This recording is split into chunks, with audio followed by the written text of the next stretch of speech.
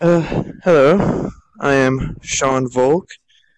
I'm working as the lead game designer for Re-O-Ri and also for Cartridge Monsters, which is uh, Dave's not here yet, I believe, but that's the Happenstance Games booth. So if you have any questions about either game, you can go ahead and ask me.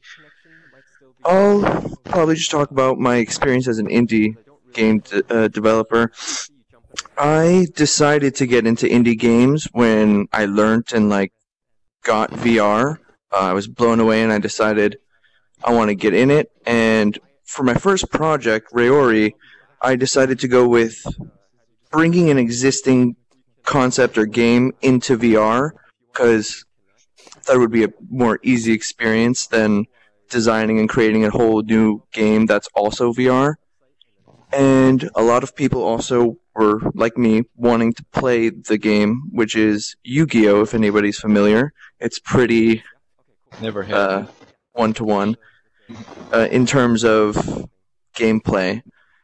And we decided to do early access, free to play, at least for now. And as we built a community before going into early access, we were making sure to have testers and letting them in on the process of trying to like build a game with them.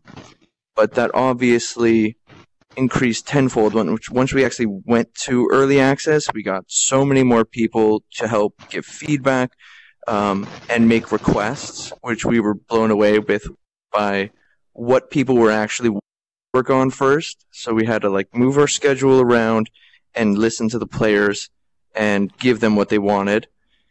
And it's been pretty awesome. And as an indie developer, I've kind of noticed some things that helped us more in terms of getting downloads and actually getting people into headsets than others. And that would probably be the, the biggest jump we've ever seen in downloads and consistent um, online players was actually when a YouTuber we didn't know made a video recommending our game. That almost doubled our downloads in two weeks compared to the month and a half, two months that we'd already been out. And that is definitely something I think every indie dev needs to approach is just seems like the social media stuff is important, but the let's plays, the YouTubers who are like leaving reviews and just demoing our game and showing it to other people, that seems to be the best route for actually getting the word around that your game exists. Um, we've since then released a lot of updates, and we're still working on getting the game to out to get out of early access. Uh, constantly adding new cards or new mechanics, and it's free to play, and um, I think a lot of fun. It's multiplayer mostly. We've got some decent AI that we're building up into a story mode, but it's mostly a multiplayer game. We've had tournaments, and those go great. People really enjoy playing in the tournament, but from what I've seen, we get more more downloads and more attention when people load up the videos of playing the tournament than people actually like just wanting to be in the tournament.